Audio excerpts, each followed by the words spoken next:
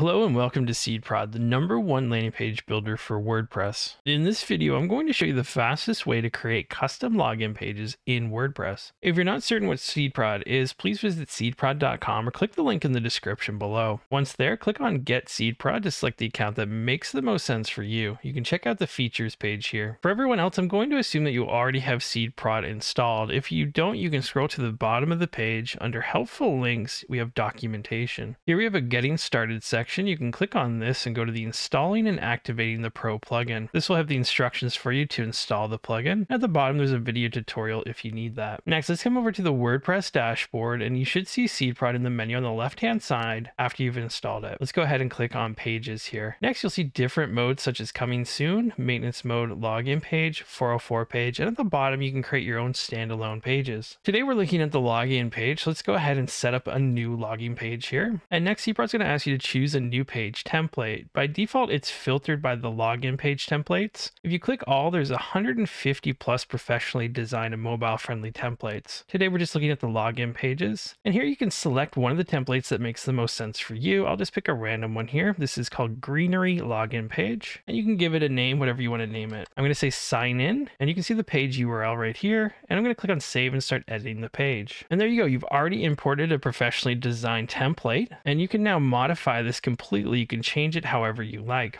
On the left hand side, we have blocks that we can drag into the page, such as standard blocks and advanced blocks, WooCommerce blocks at the bottom. So for example, if you wanted to show a pricing table for some reason, you could put that down here and that would import right into your page. Now, that's not a very good example. So let's find something like social profiles. Maybe you want to show those at the bottom of your sign in page. Next, we can click on block settings here. And this works the same way for all blocks. After you click on block settings, they'll have their own options and features on the left hand side that you can modify. So we can add new social social media accounts if we want, or edit the current ones by clicking the cogwheel beside here and putting the URL in. We also have different styling options and sizing options and alignment options. There's plenty here to use and customize. We also have templates. Now these are quick ways to change the look of the icon. So when I click here, you can see that updated instantly. You can see different versions of these until you find one that you like. Next, under advanced, you have advanced options such as the style and the colors and the spacing and device visibility. Everything you need to create great looking pages. Now you might notice a background image here that you can see on the bottom left. We have global settings we can click on and we can click on background. And this has a background image applied. We can delete this and you can upload your own image or you could use a stock image and you can just search the images here. So you can put in a certain keyword for something that you want to look for. So here I typed in cooking. Let's go ahead and I'll pick this random one of food. And you can see that that adds that into the background here. You also have different options here, such as the full screen cover. You can change what that looks like. You can change whatever makes the most sense for you. You can also dim the background here. So maybe that looks a little too bright. We could put that down a bit so you can barely see it there a bit. You'll also see that this is aligned to the right side. We have the content position here. So maybe you want to put this center center, or you could put it top right, or you could do anything creative that you could think of here. I'll leave this to the center right for now. Once you're happy with everything, we can save the page and let's go under page settings. And here you have various options such as your page title, the status, SeedProd link, isolation mode, and all of these different options options. We also have the SEO section and the script section. Let's come back to general. And down here, I just wanted to show you something specific to this login feature, which is redirect the default login page. So for example, you have the WP login.php page that will now redirect if we enable this feature. So this should go to our new sign in URL. Let's go ahead and save this again and click the drop down and click publish. Let's go ahead and seed the live page. And there we go. We can see that I'm at seedprod.local. This is just local on my machine slash sign in. So this is my custom URL. And there we go. We can see the sign in page that we just created. I'm currently logged in as a user. If I click log out, and there we can see that sign in form that was in our SeedProd page builder. I'll go ahead and log in again with my username. You can use the username or the email address and the password, and we'll sign in now. It's going to redirect me to the WP admin.